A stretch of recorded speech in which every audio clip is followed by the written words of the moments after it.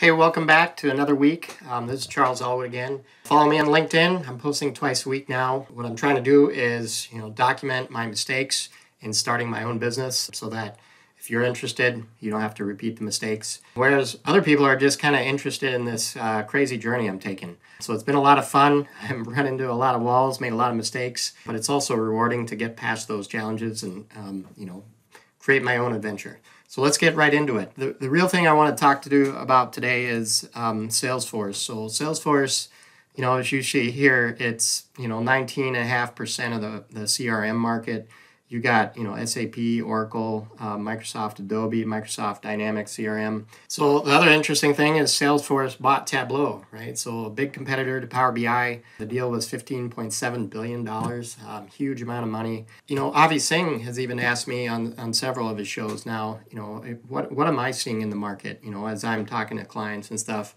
And ironically, even though they have Tableau, I'm seeing people take data out of Salesforce, dump it into Excel and use Excel and then tie it into Power BI to do their reporting. So two, two of the main reasons um, I believe are, you know, number one, Power BI is free. You can go and download desktop, you know, Power BI, share the PBIX file, and that's all free. I'm also seeing there's companies like Cloud Extend, you know, that are creating live connections to Salesforce so that you can download into Excel.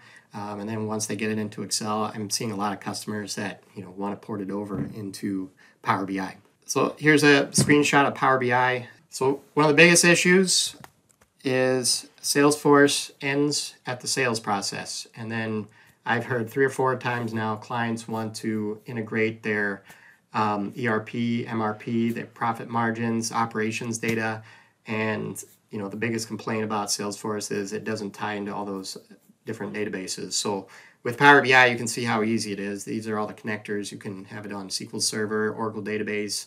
You know, you can port export data out of your ERP, MRP into Excel, connect that to the Salesforce data that you bring in. And this is how, you know, you can bring in Salesforce data directly, um, or you can port it into Excel and then connect to it then too. So tune in again next week um, and follow me on LinkedIn. Um, that's where I post all my latest content. And then also on YouTube, I post um, some of the older videos so that you can go back and watch the older videos. Thanks, bye.